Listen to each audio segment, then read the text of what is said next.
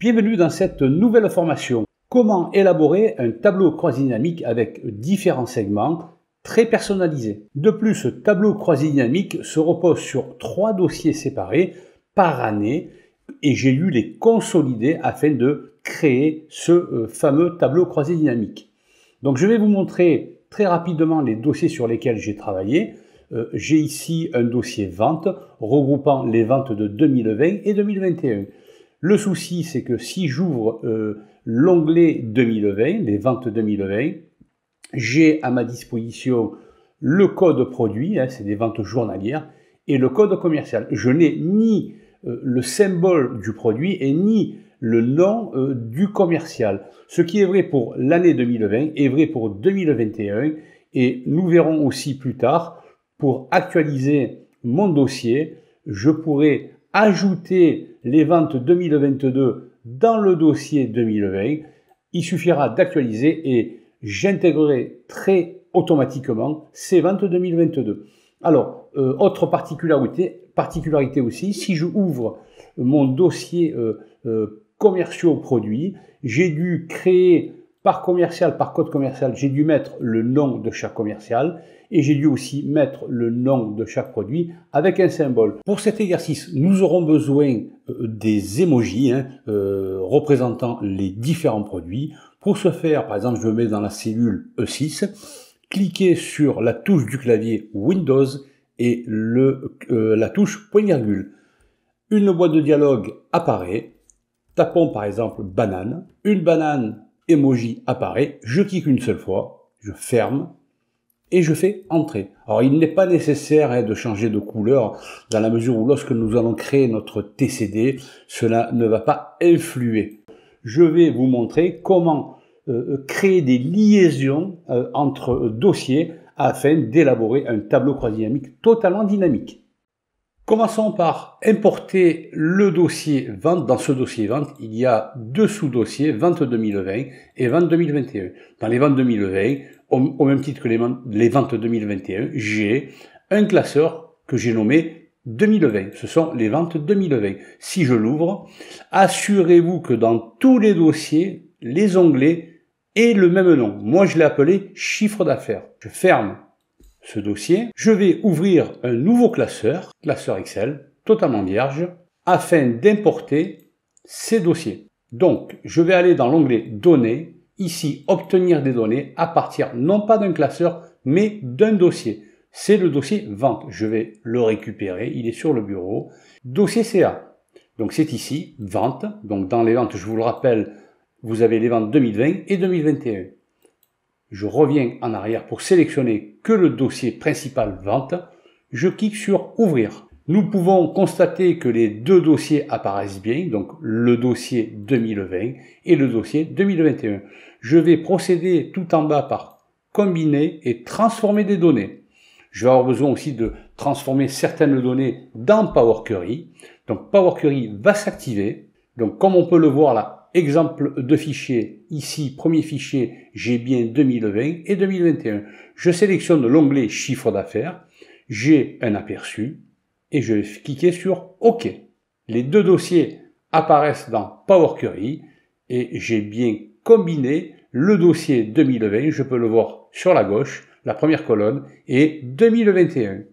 Je vais à présent importer un nouveau dossier, hein, commerciaux et produits. C'est là où j'ai mis en place une correspondance entre les codes produits et le nom du produit ainsi que un symbole, par exemple pour banane, et c'est là aussi où j'ai mis en place dans le même classeur euh, les codes produits et je les ai complétés par le nom du commercial. Donc nouvelle source, fichier, classeur. Je vais aller le récupérer, il est ici, commerciaux produits, je fais importer. Ah donc là, j'ai les deux onglets, commercial et produit avec les symboles, je vais cliquer sur sélectionner plusieurs éléments et je vais sélectionner les deux éléments. Je fais OK.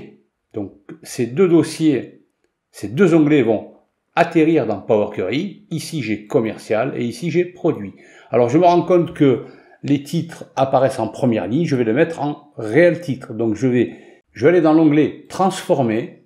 Ici utiliser la première ligne pour les entêtes, ce qui est fait pour les produits, et pour commercial, je vais procéder de la même manière, utiliser la première ligne pour les entêtes. Afin d'éviter certaines redondances, je vais devoir créer euh, une liaison entre ces trois dossiers. Alors pour créer une liaison avec plusieurs dossiers ou plusieurs classeurs, il faut absolument un champ en commun. Alors dans le dossier vente, je vais euh, lier le dossier vente avec le dossier commercial avec, je vais me mettre sur la droite avec le code commercial qui est ici et avec le euh, dossier produit, je vais pouvoir le lier avec le code produit qui est ici dans le l'onglet produit, que j'ai aussi bien sûr dans l'onglet vente.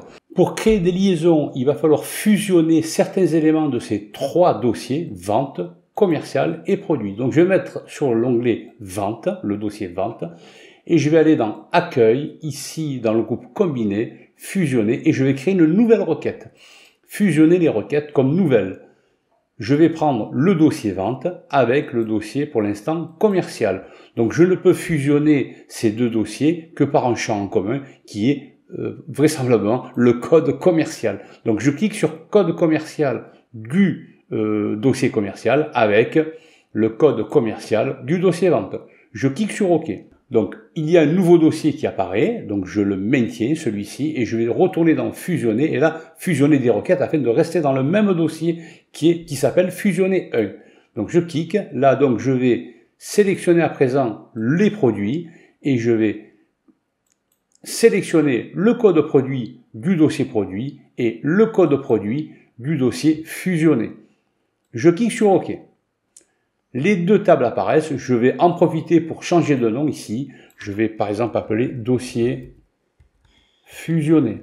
Alors ici, je ne vois que table. Donc je vais cliquer sur ce petit, euh, ces petites flèches et je vais prendre que le nom du commercial. Le code commercial, je l'ai déjà. Donc il me manquait que le nom du commercial. Je clique sur OK. Donc là, j'ai bien le nom du commercial et je vais procéder de la même manière sur les produits. Donc je vais prendre là pour que le symbole. Nom produit, je le décoche. Code produit, je le décoche. Et je ne garde que symbole. Je clique sur OK. Je vais ajouter deux colonnes parce que je vais en avoir besoin pour euh, mes segments tout à l'heure lorsque je vais créer mon tableau croisé dynamique, à savoir, il me manque le mois, là je n'ai que les dates commandes, et l'année. Donc je vais ici aller dans ajouter une colonne, colonne à partir d'exemple, alors je vais d'abord sélectionner bien sûr la date, la colonne date qui est ici. Donc c'est fait. Colonne à partir de la sélection. Et ici, je vais euh, lui donner un exemple. Par exemple, je vais lui dire 2020. Je fais entrer et je vois si Excel a compris euh, mon message quelque part. Hein. Donc là, 2020, j'ai bien 2021 un peu plus bas. Donc si je suis d'accord, je clique sur OK. Je vais procéder de la même manière pour euh, les mois. Donc je vais sélectionner toujours la colonne date commande, colonne à partir d'exemple, à partir de la sélection. Et là c'est pareil, je vais le premier mois, donc c'est le 1er avril 2020, taper avril, je fais entrer, et ici apparemment il a compris, en effet là j'ai bien mai, donc là dans la colonne euh, date commande j'ai bien mai, juin, juillet, etc., etc. Donc si je suis d'accord, je clique sur OK. Et dernière euh, transformation aussi, je me rends compte que j'ai, je n'ai pas les totaux, hein, quantité et prix unitaire, je n'ai pas les totaux. Donc je vais aller dans toujours ajouter une colonne, colonne personnalisée. Alors je vais l'appeler bien sûr euh, chiffre d'affaires total. Et ici dans formule de colonne, je vais prendre prix unitaire, je clique deux fois rapidement, étoile pour multiplier par quantité. Je clique deux fois rapidement sur quantité. Je clique sur OK. Alors ici, j'ai bien chiffre d'affaires total, je peux le déplacer, je vais mettre juste après quantité, donc je vais voir si ça a été le cas. En effet, c'est bien dans quantité. Une fois que j'ai terminé, je vais aller dans accueil, fermer et charger. Une nouvelle feuille va apparaître et cette feuille s'appelle dossier fusionné. Donc j'ai mis deux S, vous m'excuserez. Éventuellement, je pourrais ici revenir euh, dans mon euh, Power Query. Voilà, s'il y a une erreur, hein, donc aller dans Données, ici requête et connexion. Donc j'ai une boîte de dialogue qui apparaît. Je vais aller dans ici, je survole ce dossier, modifier le nom qui est ici et je vais enlever un S.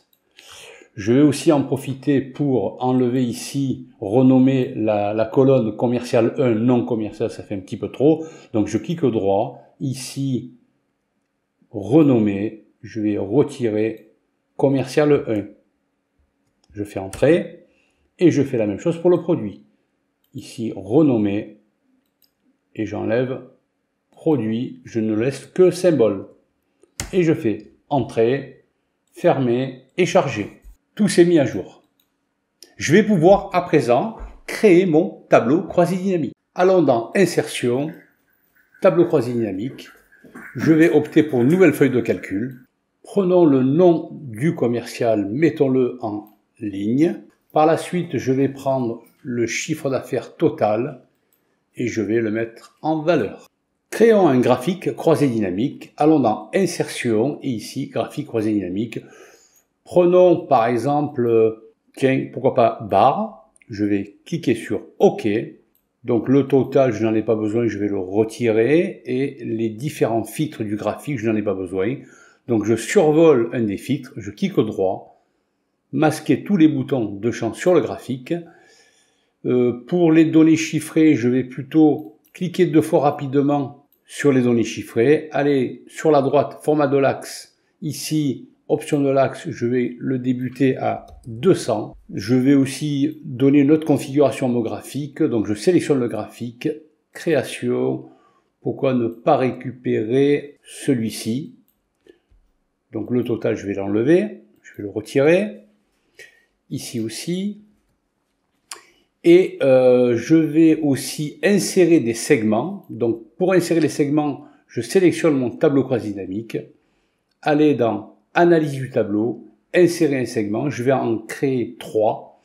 Donc je vais prendre année, mois, et je vais prendre aussi, alors le symbole pour les produits, je vais cliquer sur OK. Donc j'ai trois segments, donc je vais les mettre juste à côté.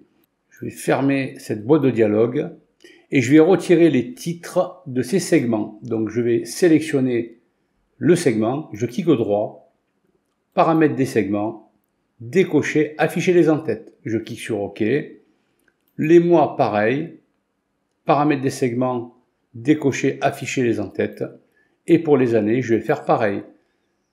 Paramètres des segments, décocher, afficher les en-têtes.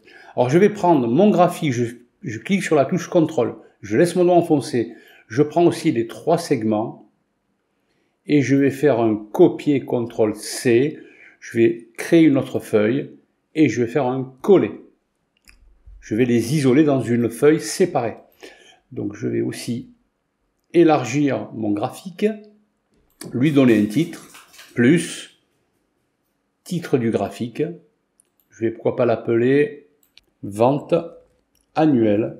Alors vente sans S, annuelle par produit. Je vais aussi, pourquoi pas, changer la couleur euh, de mes barres. Donc, aller dans création, ici, choisir, pourquoi pas, ce type de couleur. Et ajouter aussi des étiquettes de données.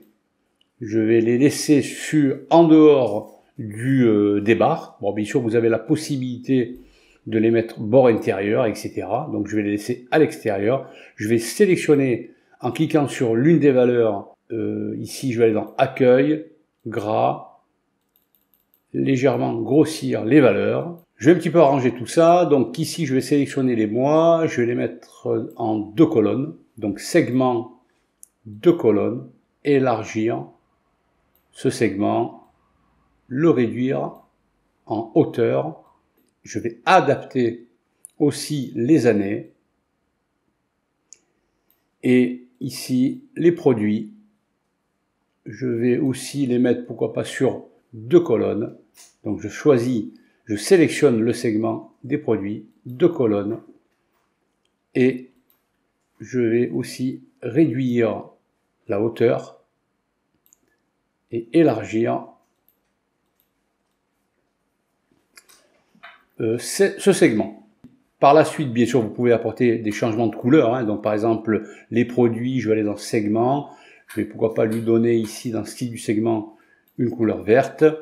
Pour les années, je vais lui donner euh, comme couleur, euh, ben, pourquoi pas foncé jaune, jaune plutôt bleu. Et je vais aussi changer de couleur pour les mois. Alors, ici maintenant, si j'ajoute dans mon dossier l'année, les ventes 2022, donc je vais sélectionner, je vais aller dans le dossier vente, vous montre un petit peu euh, le dossier, donc il est là, vente. Donc si je prends mes ventes 2022, que je le mets dans le dossier principal vente, donc là j'ai à présent trois dossiers, je ferme ce dossier. Si je retourne dans dossier fusionné, donc là 2022 n'apparaît pas bien sûr, je vais dans données actualisé. Alors, je vais vérifier. Alors, les ventes 2022 apparaissent bien. Je vais aller à présent dans le tableau croisé dynamique, ici. Je vais l'actualiser. Je clique sur le TCD, clic au droit, actualiser. Et si je retourne dans mes graphiques, j'ai bien l'onglet 2022. Donc, j'aurais pu éventuellement l'élargir légèrement afin de mieux voir l'année 2022. Donc bien sûr, ces segments servent de filtre. Hein. Si par exemple je choisis uniquement l'année 2021, je clique uniquement sur 2020, euh, pardon 2020. Si je choisis uniquement euh, les produits raisins, je connaîtrai les ventes du raisin en 2020. Donc si bien sûr avec la touche contrôle, euh, je sélectionne les autres années, donc 2020, 2021, 2022, et je pourrais aussi sélectionner comme ça sans appuyer sur la touche contrôle tous les produits. Pour faire un petit, peu plus joli, je pourrais enlever le quadrillage euh, de ma feuille Excel en allant dans affichage et ici décocher quadrillage. Voilà, j'espère que ce petit tutoriel vous aura plu. Quant à moi, je vous donne rendez-vous dans, dans une prochaine formation. N'hésitez pas à vous abonner, à cliquer sur la petite cloche et à cliquer sur le petit pouce, ça fait toujours plaisir. Merci, à bientôt